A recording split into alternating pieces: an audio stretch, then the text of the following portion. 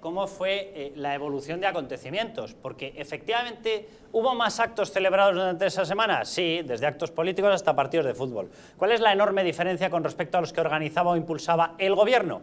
Que el que tenía la información procedente del extranjero, procedente de la Organización Mundial de la Salud, era el gobierno.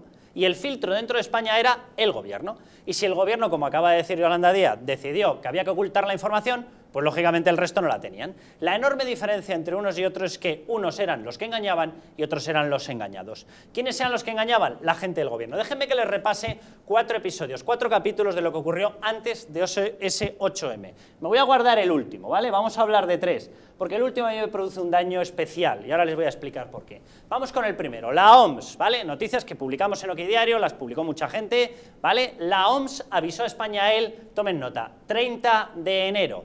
30 de enero es cuando se decreta alerta mundial sanitaria. 30 de enero, estamos hablando de que el 8M se llama 8M porque es el 8 de marzo, ¿verdad? Esto yo creo que es capaz de entenderlo hasta una persona de Podemos. Bueno, la OMS avisó a España el 30 de enero, el coronavirus se puede frenar si se aplican medidas. Nosotros que decidimos un 8M, barrer todas las medidas y juntar a toda la gente, feministas radicales, por cierto, todos sin distancia de seguridad, sin mascarillas, hablándose, gritándose, rozándose, tocándose, venga, venga ahí el contagio por todos los lados, ¿vale?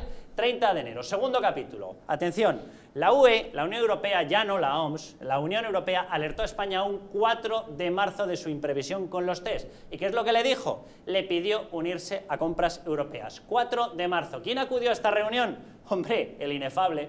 Fernando Simón, in person, estuvo en esa reunión y lo que se le dijo es, esto es muy grave, está advirtiendo ya la OMS, nosotros, Unión Europea, desde el ECDC, desde la oficina que tiene de control de este tipo de enfermedades, opinamos lo mismo, por favor, necesita la gente estar ya prevenida y con material.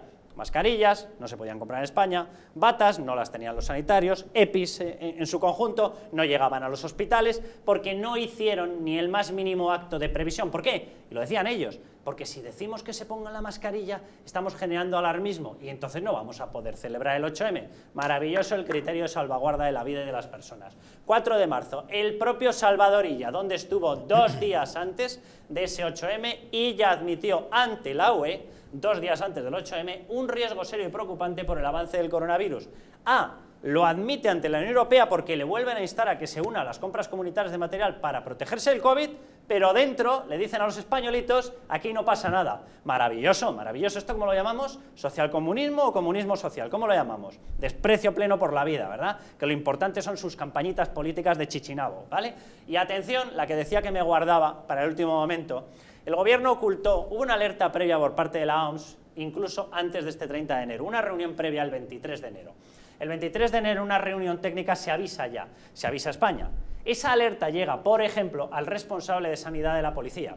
Y el responsable de sanidad de la policía, porque es responsable y es policía, y esta gente suele ser profesional, lo que hizo fue preparar todo un documento en el que advertía a los policías. Mascarilla, distancia social, cuidado con las detenciones, esto es muy grave, hay un riesgo de letalidad. ¿Saben lo que hicieron con esta persona? Retirarla, echarla.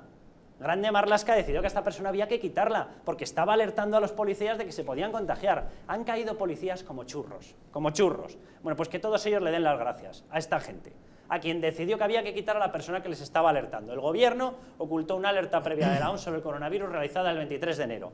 Y todos aquellos que recogieron esa alerta y se la trasladaron a gente para que salvara sus vidas, decidieron que había que quitarlos. Entonces el gobierno que dice, como dicen estos, el escudo social. ¿Escudo social? Esta es la historia. Es tétrico, de verdad. Almudena, Almudena Negro, ¿cómo estás?